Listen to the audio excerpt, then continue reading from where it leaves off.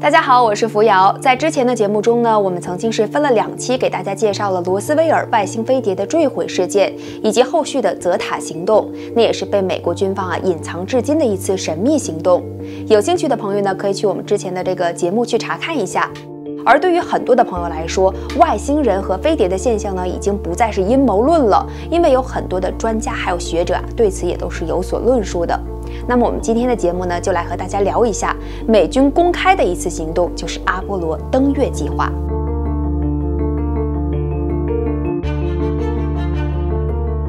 当然了，我们不是和大家说他们在月球上是怎么插上了一面美国国旗，而是探索一下那些太空的科学家们呢是在多次踏上了月球表面之后都发现了什么。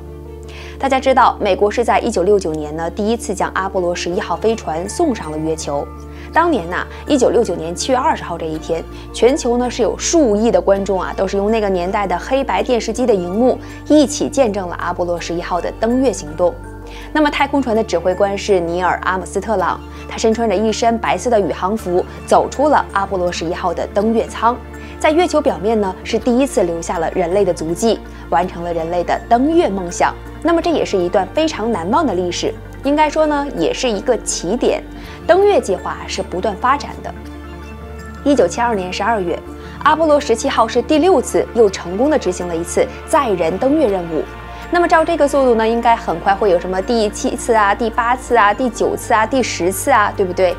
但是呢，就在这一次啊，执行第六次登月任务的队伍刚刚返回地球之后，美国就终止了整个阿波罗登月计划。更让人觉得奇怪的是，当时呢，美国的这个太空竞赛的对手，也就是苏联，也是很诡异的，在同一时间就和美国非常默契的一起停止了登月计划。也就是从这个时候开始，半个世纪都过去了，人类呢都没有再登陆过月球了。那么问题就来了，人类为什么要突然停止登月计划呢？那么对于这个问题呢，美国国家的航空太空总署，也就是我们常常听到的 NASA，他们呀也是一直没有给我们一个满意的回答。然后呢，根据美国政府的说法是说，因为一九七零年代开始呢，美国政府财政吃紧了，NASA 呢就被迫取消了登月任务。可是呢，这种说法并不能让我们信服。也有媒体就报道说，美国曾经是有意的掩盖了一些登月资料，这就有意思了。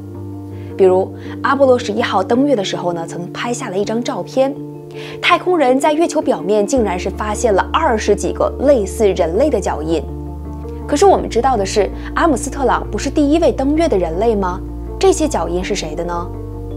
并且啊，太空人阿姆斯特朗呢，在自己的自传里就透露了一个情况：他在一九六九年进行完了月球漫步之后呢，在从月球返回地球的途中。他真实的感受到有一些外星文明在注视着他，他还说他自己的队友也看见了，在他们眼前就出现了一些不明飞行物，然后就消失了。其实呢，在阿波罗十一号登月之前，太空人呐就注意到了不少奇异的现象，比如说在登月的途中，太空人呢就看到前方有一些不寻常的物体，起初呢他们以为那是龙神四号的火箭推进器吧。于是呢，有一名太空人就发出了一个信息，要求地面的控制中心给确认一下。可是地面的控制中心告诉他们说，龙神四号火箭推进器根本就不在你们附近，离你们还有六千英里呢，离你们远着呢。于是太空人就用双筒望远镜去观察，发现啊，这个不明的物体呢是呈一个 L 状。那么太空人阿姆斯特朗还形象地描述了一些，说就像一个打开的手提箱一样。而在用六分仪去看的时候呢，又发现这个不明物体啊，像是一个圆筒状。还有一位太空人叫做奥尔德林，他说呢，我们也看到了有多个小物体从他们身边的附近呢就掠过去了。当时呢还有点震动，然后又看到这些较亮的物体就掠过去了。七月二十号，当太空人奥尔德林是进入了这个登月小艇做最后的一个系统检查，他突然发现有两个不明飞行物。那么其中一个呢比较大，也比较明亮，速度是非常快的。从前方呢是平行的飞过去，之后啊就消失了。在几秒钟之后呢又出现了。而这一次出现的时候，奥尔德林就看到这两个物体中间发出了光束，然后呢就相互连接起来，突然间又分开了，然后呢以非常快的速度就上升，之后就消失了。而就在太空人要正式降落月球的前夕，地面的控制中心突然呼叫他们说：“那里是什么？”任务控制中心呼叫阿波罗十一号，阿姆斯特朗呢就回应了控制中心的呼叫，他说：“这些东西大的惊人，天哪，简直难以置信！我要告诉你们，这里有其他的宇宙飞船，它们排列在了火山口的另一侧，它们在月球上正注视着我们。”然后呢？就在这个时候，电波的讯号突然间就中断了。其实，阿波罗十一号也不是阿波罗系列中唯一一个遭遇不明飞行物的太空船。那么，有记载就显示说，在一九六八年的十一月二十四号，阿波罗八号太空船呢，在调查将来的一个登陆地点的时候，就遇到了一个巨大的，大约得有十平方英里的一个大的 UFO。然后呢，他在绕行了两圈之后啊，就再也没有看到这个物体了。而阿波罗十号呢，也是距离月球上空五万尺的一个地方，突然发现有一个不明物体就飞了起来，然后就接近他们。而这一次的遭遇，后来呢还被拍成了纪录片。在一九七三年的时候，NASA 是第一次公开了一些登月任务的一些结果。他们是在一份秘密的声明里，NASA 声称呢，所有二十五名参与阿波罗登月任务的这些太空人都有过在月球上空遭遇了不明飞行物的一个经历。美国前登月计划的负责人叫做维赫·冯·布朗，他就在生前呢就说过，有好几次阿波罗登月任务啊，都是感受到被某种地外的神秘力量给监控着。那么，一九七九年的时候，美国的 NASA 前通讯主任叫做莫里斯·查特也很坦然地说，太空人在月球的上空遇见这些不明飞行物啊，是一件很平常的事情。并且说，所有的太空船都曾在一定距离或者是极近的距离之内啊，被 UFO 给跟踪过。每一次呢发生这种情况，太空人就会通知这些地面的任务中心。那么这些对于业内人士可能说是见怪不怪了，但是对于我们普通人来说却是非常神秘的事件。几年之后呢，当年的美国第一位太空人阿姆斯特朗就又和大家透露了一些内容，他是这么形容的。他真的是不可思议，我们都被警示过，在月球上啊，曾经是有城市或者是太空站，这是毋庸置疑的。我只能说，他们的太空船比我们的还要优异，他们真的很大。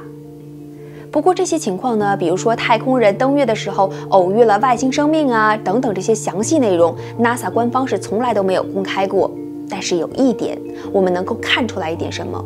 就是在阿波罗十一号回到地球之后召开的第一次记者会。在那次记者会上呢，我们根本就看不出来这三位太空人脸上有任何的喜悦感，没有大家期待的兴奋感。那么，这对于刚刚完成了人类的太空事业的一个里程碑，创造了人类历史等等之后，之后回来的这三位太空人来说，是不是很令人不解呢？按理来说，这可是一件令人非常兴奋，甚至是激动不已的事情啊。那么，然而呢？我们当时看到他们三个人啊，都是不断的低头沉思，到底是什么原因让他们的心情能够如此的低落呢？难道真的像外界猜的一样，是 NASA 下令了，不允许他们三个人说出实情，不允许他们说出外星生命的存在吗？不论如何啊，关于 NASA 为什么放弃了登月这个问题呢，是让外界猜来猜去的。那么就有这么一种观点，认为说呢，是出于美国对于外星人强大科技的一种畏惧。不知道大家怎么想？其实除了阿波罗登月计划呢，还有一些特别的天文爱好者，还有一些观察家，还有特异功能的人，都是发现了月球上有一些怪异的现象。一九七五年，一名超能力者叫做英格斯旺，他应了美国中央情报局，也就是 CIA 的邀请，参加了一项绝密任务——透视月球。斯旺呢有一种特异功能，就是千里眼，于是呢他就运用自己的千里眼这个功能啊，观察了一下月球，帮大家找找答案。那么他都发现了一些什么呢？斯旺看到啊，在月球的背面有一些疑似建筑物的东西，还有一些呢有着一些玻璃穹顶的物体。然后呢，他就让自己的意识缓缓地进到这些建筑物里。可是，在这个时候，CIA 的人员发现呢，斯旺开始出冷汗了。大家就赶紧问他：“你都看到什么了？”斯旺说：“他看到了一些体型高大的人形生物。”而这些生物呢，发现了并且感到有人正在窥探他们，而且这些生物正在试图寻找窥探他们的人。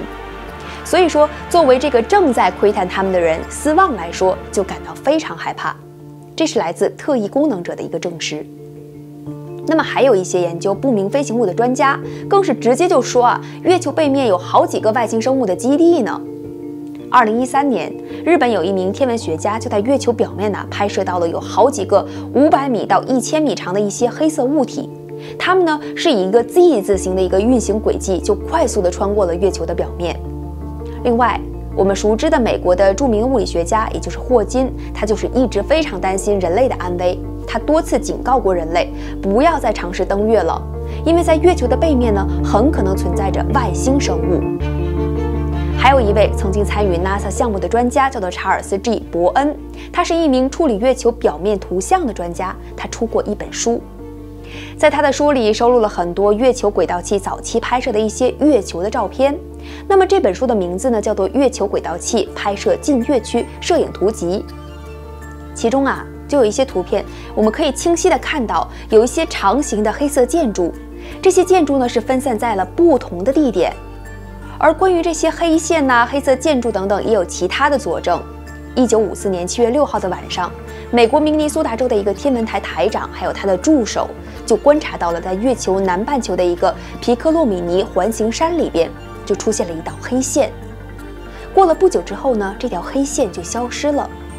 除此之外，一九六六年十一月二十号，美国轨道的二号探测器呢，在距离月球表面盆地近海四十六公里的一个高空上，就拍到了多个金字塔形状的一些结构体。科学家估计呢，这些物体啊，都是十五到二十公尺高的一些高度上，那么是以一个几何形式来排列的。它们的颜色呢，比周围的这些岩石还有土壤都要淡一些，显然那不是自然形成的。随后。原苏联的宇航飞船也发现了这些建筑。一九六七年的九月十一号，天文学家组成了一个蒙特楼小组啊，就发现了在盆地近海还出现了一些四周呈紫色的黑云。那么这一切的一切都意味着什么呢？难道说真的是有某种智能生物在月球上建立了基地吗？有人说，月球啊是外星的这些智能生物用来研究我们地球最好的一个平台了，因为啊它距离地球不算太远，而且月球的一面永远面对地球，那么这就意味着外星生物呢则是可以安全的栖身在月球的另一面。哎，我们刚刚说到的是月球的一面是永远面对地球的，对，月球呢就是这么转的。可是这个特性我们又该如何解释呢？而这个问题也是难倒了很多的科学家。那么回想，在一九六九年，当阿波罗十一号即将成功的登月的时候，许多科学家都是觉得很欣慰啊，认为阿波罗计划肯定可以帮我们解开月球起源之谜。可是时至今日，事实证明啊，这些科学家是高兴的过早了。登月计划不但是没有带回这个答案，反而是带回了比登月以前还要不知道多出了多少的新的谜团。那么这些谜团都是什么呢？我们又该如何解释呢？我们会在之后继续为大家揭秘。感谢收看，我们下期再见。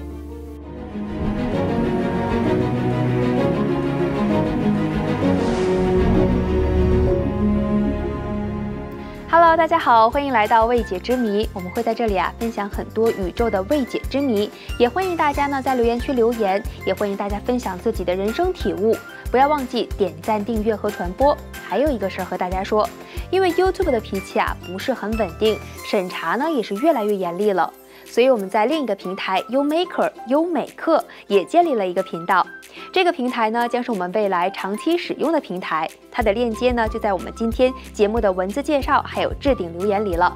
欢迎大家在优美课上注册账号并关注我们。那我们下次见啦！